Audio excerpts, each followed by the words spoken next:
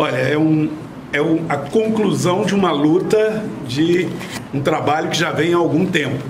Nosso trabalho como deputado federal, às vezes as pessoas pensam que é o seguinte: chega lá no ministério e pede o dinheiro e o dinheiro vem no dia seguinte. Não é assim. A Elis, que tem acompanhado a nossa luta, sabe que para você conseguir um recurso como esse, um recurso extra, uma emenda de 2 milhões e 200 mil, você tem que fazer um trabalho intenso até ela ser paga. E hoje nós estamos reunidos aqui é, trazendo a boa notícia de que o dinheiro já está na conta da prefeitura. Por que, que é assim? Porque como o hospital é um prestador de serviço do SUS, o dinheiro que vem do Ministério da Saúde, ele vem para o Fundo Municipal de Saúde, mas ele já vem carimbado, por assim dizer. É, existe inclusive o número do hospital, o número do registro do hospital no SUS, e a emenda já veio indicando que é para atender ao Hospital São João de Deus em razão da prestação de serviço que ele faz ao SUS. Como o dinheiro que o SUS paga pela prestação de serviço muitas das vezes não paga nem o custo daquele serviço, ou seja, uma pessoa que fica internada aqui no Hospital São João de Deus, ela além dos medicamentos, da alimentação, dos serviços médicos, né, é um, uma série de coisas que dá um custo X pela diária daquela pessoa. E às vezes a diária que é paga não cobre sequer o custo. Muitas das vezes um serviço numa cirurgia né, complexa, ela fica muito mais cara pelo hospital do que o dinheiro que ele recebe do SUS. E aí, nessa hora, o hospital fica numa situação delicada, porque ele precisa de ter alguma reserva para fazer investimento.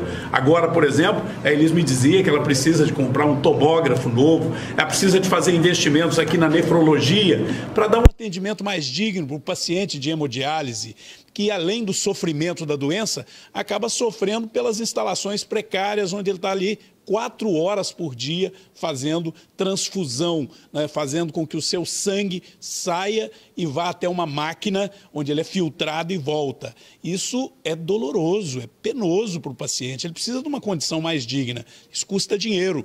E é essa emenda que nós estamos colocando no hospital através da prefeitura. A prefeitura, por sua vez, vai repassar o dinheiro para o hospital, já é esse compromisso do secretário e do prefeito. E, se Deus quiser, o benefício chega lá no cidadão, melhorando o atendimento. Como o município ele também tem as suas dificuldades financeiras, né, ele não tem esse dinheiro, essa previsão no orçamento dele. O orçamento do município é apertado.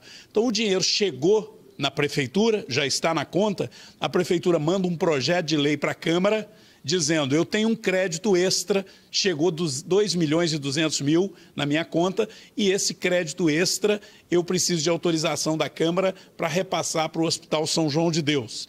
Então, é uma burocracia necessária. Né? Eu já fui prefeito de Divinópolis, eu sei como é que funciona isso.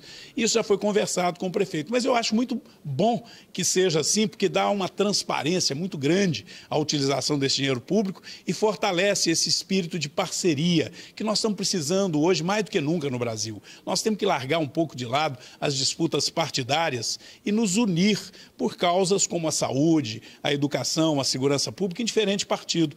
E é assim que eu tenho agido com a Prefeitura Municipal de Divinópolis e das outras cidades. Indiferente do prefeito não ser do meu partido, não ser meu aliado, é, politicamente, partidariamente, nós temos a obrigação de trabalhar junto com o município. Então, eu conversei com o próprio prefeito Galileu, conversei com o secretário de saúde, né, e o secretário também colocou-se à disposição e assumiram um compromisso que nos próximos dias mandam um projeto de lei para a Câmara e com a Câmara aprovando, hoje tivemos aqui a presença de três vereadores da Comissão de Saúde, o dinheiro vem direto para o São João de Deus. O São João de Deus vai utilizá-lo para essas necessidades que a Elis pode explicar melhor.